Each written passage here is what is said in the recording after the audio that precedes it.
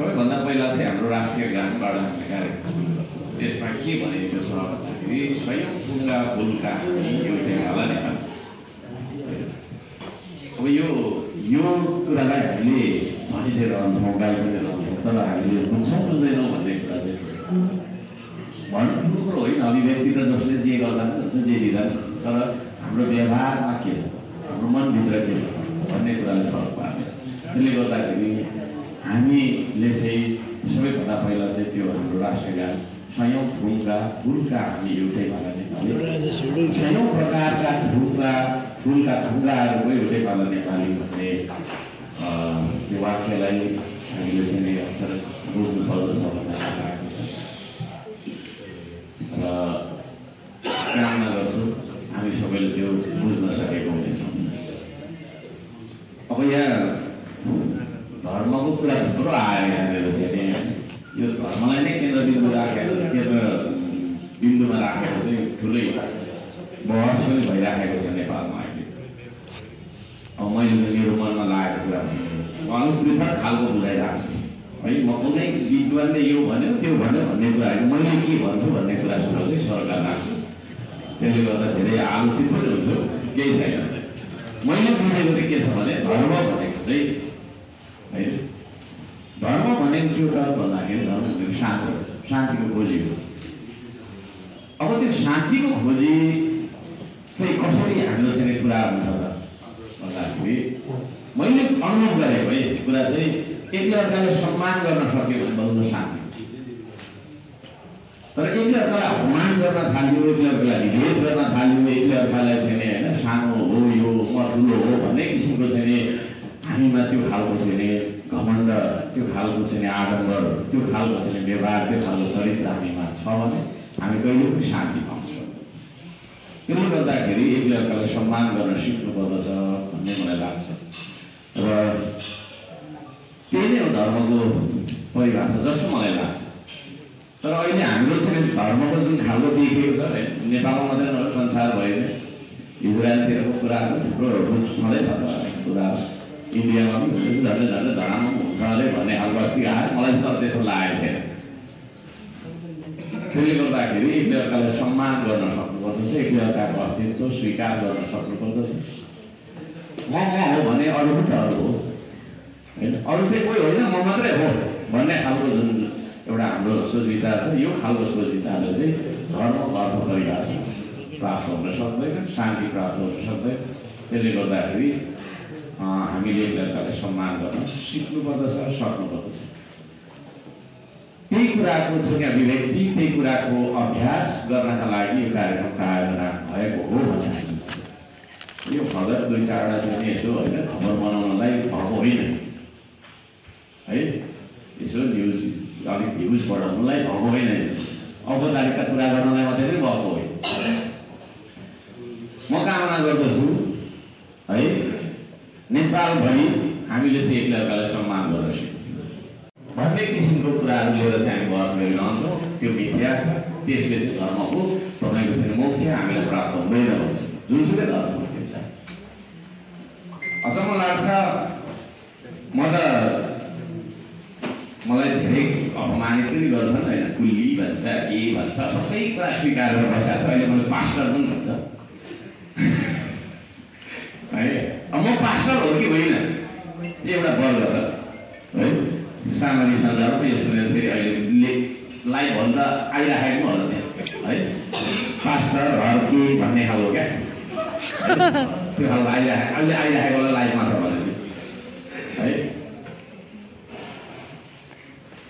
कुन कुरालाई लिएर त भन्दाखेरि गोपाल मन्दिर अगाडि चर्च बन्यो कसले बनायो के बनायो कहिले बन्यो भन्ने कुराहरू आफ्नो ठाउँमा होला अघि भर्खर यहाँ ठुल्ठुलो हामी ग्रुप ग्रुप उफ्रेर चाहिँ यहाँ भाषण सुन्यौँ हामीले गुरुहरूको पनि सुन्यौँ गोमेलजीको पनि सुने मैले अरूको सुन्ने मौका अनि हाम्रो चाहिँ इसाई समाजका हाम्रो सरहरूको पनि सुन्यौँ है खतरा थियो सबैको भनाइ राम्रो थियो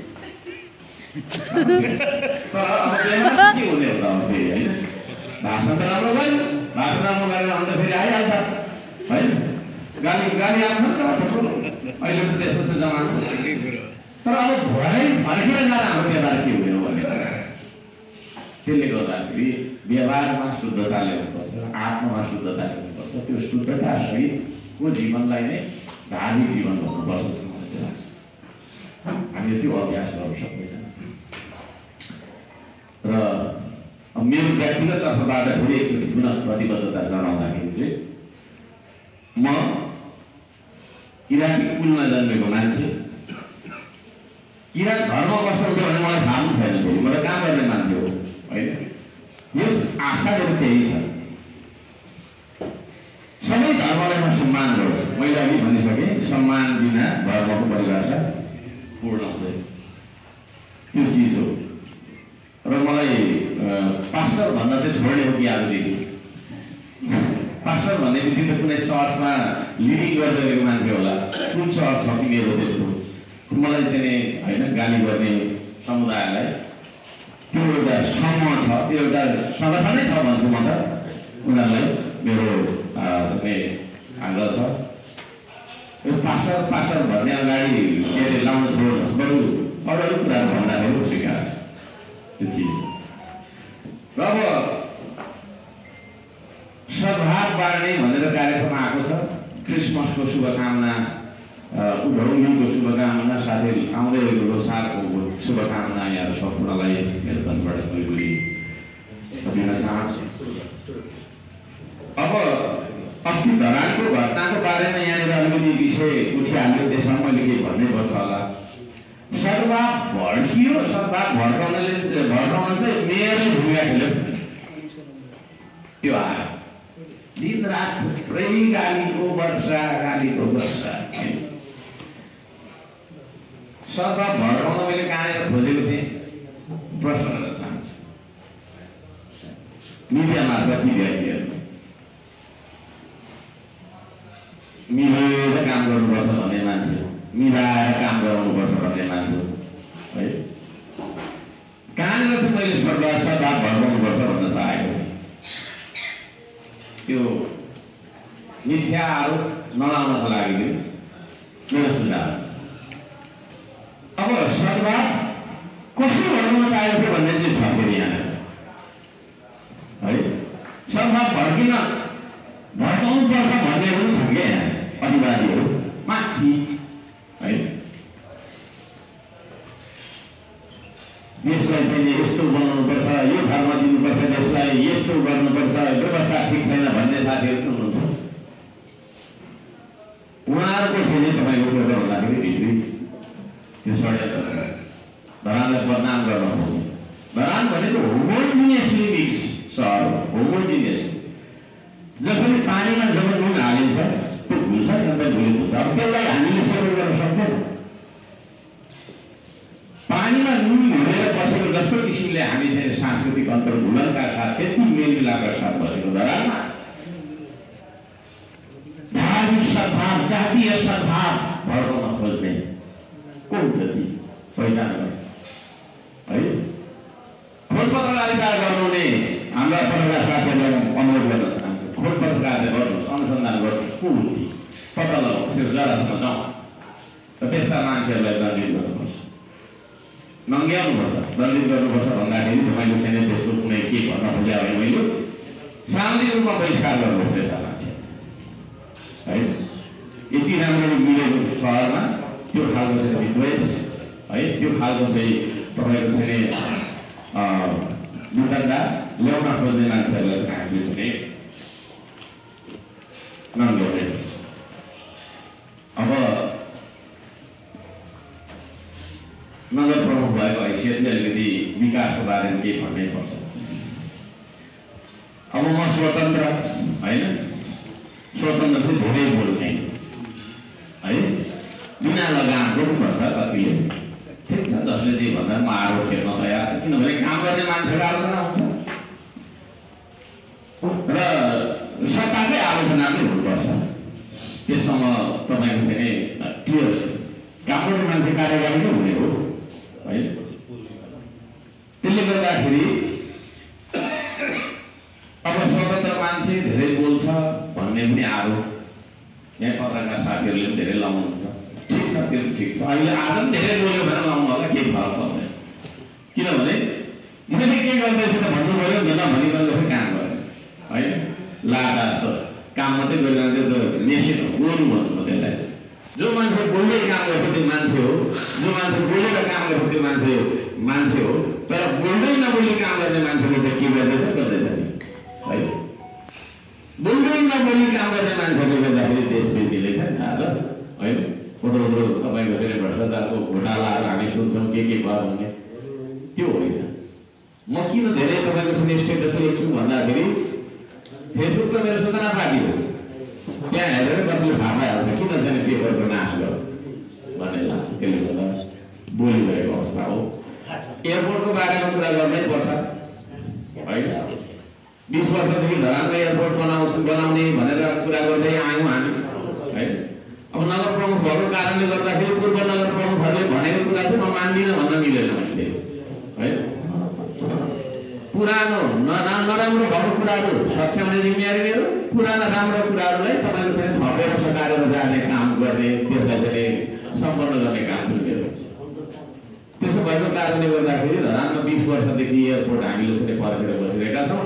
त्यो एयरपोर्ट बनाउनुपर्छ भन्ने पक्षमा तपाईँहरूको पत्रकारिता चल्नु पर्यो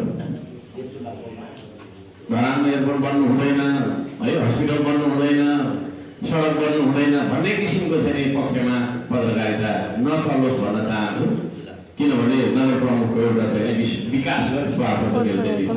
धरानमा धेरैभन्दा धेरै विकास होस् भन्ने स्वार्थ। यदि अरू कोही पनि नगर प्रमुख भएको भए उसले पक्कै त्यो स्वार्थ चाहिँ राख्थ्यो होला अब अरू कुराहरू यहाँले गरिसक्नु भएकै छ यहाँ छलफलमा आइसकेकै छ? शुभकामना आदान प्रदानदेखि लिएर हरेक कुराहरू हामीले गरिसकेका छौँ र अन्त्यमा म के भन्न चाहन्छु भने हामी सबैजना मिलेर बसौँ एकले अर्कालाई सम्मान गरौँ यदि तपाईँले मलाई नमस्कार गर्नुहुन्छ भने मैले तपाईँलाई नमस्कार गर्नुपर्छ मैले नमस्कार गर्छु भने तपाईँले मलाई नमस्कारै कसैले नमस्कार गर्दैछ। भने त्यसलाई चाहिँ होइन हामीले लाठी उज्याउने भारे हात लगाउने झापड उजाउने मुक्का देखाउने हाम्रो व्यवहार हुनु भएन त्यसले गर्दाखेरि त्यो खालको चाहिँ एकले अर्कालाई सम्मान गर्ने खालको है? हाम्रो देशै त्यस्तो बनोस् संसारै त्यस्तो बनोस्। हामी आफ्नो आफ्नो कर्तव्यमा तपाईँको चाहिँ पूर्ण रूपमा सफल हौँ। ती कुराहरू राख्दै र यी तिनवटा विशेष गरी पर्वहरूको हार्दिक शुभकामना व्यक्त गर्दै म आफ्नो भनाइ यही राख्दछु। एयरपोर्टको बारेमा अब कुरा राखियो। मन्त्रीजीहरू पोजिटिभ हुनुहुन्छ अब अध्ययन हुन्छ। अध्ययन हुन्छ। फेरि अध्ययन गर्ने यो मिडियामा एउटा कुरो आइरहेछ नि यो अब यहाँ चाहिँ बन्ने तर नचल्ने भन्ने रिपोर्ट त्यो चाहिँ आइरहेछ भन्ने आइरहेछ नि। त्यस्तो त्यो हुँदै हुँदैन। त्यो धरानलाई पछि पार्ने तर्क हो जस्तो लाग्छ। बन्ने अनि नचल्ने भनेको चाहिँ के भन्नु? प्रतिवेदन त्यस्तो भयो। भने प्रतिवेदन छैन प्रतिवेदन छैन। प्रतिवेदन छैन मैले इन्जिनियरलाई पनि भनिसकेको छु प्रतिवेदन आयो भन्दा आएको छैन भने त्यो हावामा हावा फैलाउनु हुँदैन पत्रकार साथीहरूलाई पनि भन्न चाहन्छु। विकास होस् भन्नेतिर जानुपर्छ त। उहाँहरूले नीतिको कुरा गर्नुहुन्छ नीति त चेन्ज गर्नु पऱ्यो नि। होइन सत्र सालको नीति अठाइस सालको नीति पुरा गरिराखेर हुन्छ। के गर्नु पठाएको त हामीले सांसदहरूलाई? प्रश्न गर्न चाहन्छु। है अस्तिको यो वन मन्त्रीज्यू आफैले हामी त अठाइस सालको के अरे अहिले पक्रेर बसिरहेको छौँ भन्नु हो अनि कुन साल हो यो? होइन? अस्सी साल होइन? हामी अब एक्कासीमा प्रवेश गर्दैछौँ। अनि तपाईँको चाहिँ पचास वर्ष पहिलाको ऐन पक्रिराखेर हुन्छ त? हुँदैन। ती सबै कुरा संशोधन गर्नुपर्छ। एक्काइसौँ शताब्दीको एकदमै आधुनिक फाइभ जीमा पुगिसकेको छ जमाना। त्यो अनुसारको नीति कार्यक्रम। हामीलाई काम गर्न चाहिँ अप्ठ्यारो कानुनले गर्- गर्दा रहेछ ती कानुन सबै संशोधन गर्नुपर्छ। त्यो चिज मेरो चाहिँ। र म माग गर्दछु। आजको यो कार्यक्रम को एउटा चाहिँ नै मौकालाई तपाईँको प्रश्नको उत्तर दिँदै यो मौकालाई सदुपयोग गर्दै माग गर्न चाहन्छु। सबै काम नलाग्ने कानुनहरू संशोधन गर्नुपर्छ त्यस्तो छ। यति भन्न चाहन्छु।